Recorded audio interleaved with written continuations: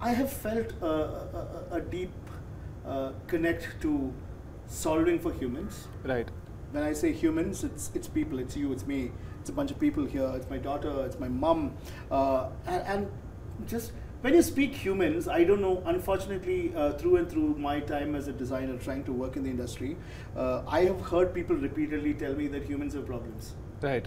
And humans' problems need solutions. Uh, it, it resonates really well with a left brained, uh, objective engineer's conscience. Because Right. engineers like problems. Right. Engineers like to, to look at problems and solve them.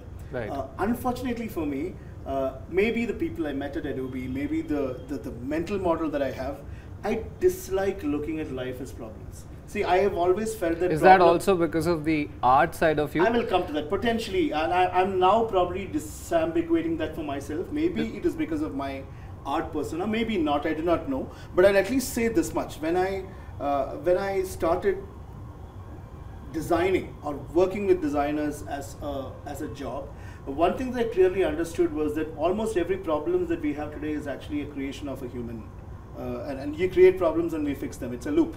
Like, you know, so if we didn't create them, the problems don't exist. Right. And, and the human progresses entirely because we have aspirations. Right. And, and then they present to you as problems and somebody picks up that problem and fixes with an aspiration and then some, something else comes and that's how. But unfortunately, it has gotten too abstracted out uh, to problem solving. So Makes my sense. first mental model is design is not a problem solving function.